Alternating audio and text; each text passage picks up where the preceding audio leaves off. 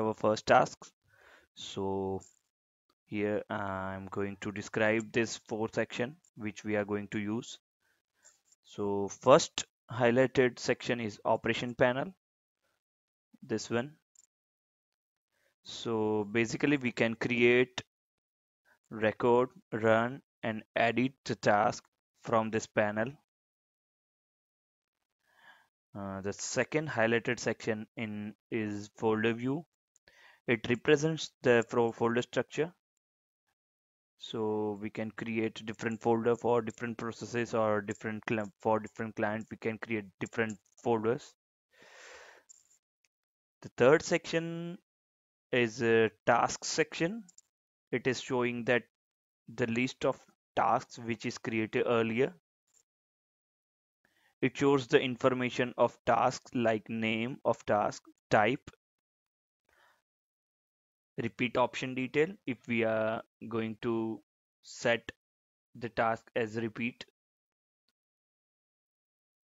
or status as it is pass or fail when it was executed in past.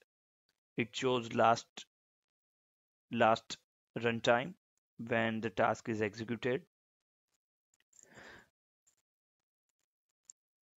The fourth section is uh, it shows different options and sub options there are many uh, there are many options in in automation anywhere client for this uh, we can say properties schedule trigger. And in property section there are different sub options i will cover it later when we are going to use that this options. At the time we can cover it in detail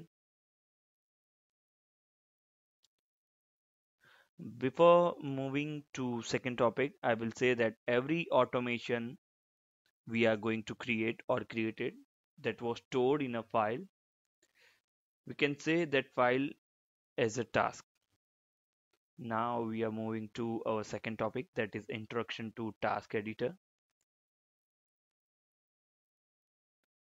So, so to open the task editor, we need to click we need to click on we need to click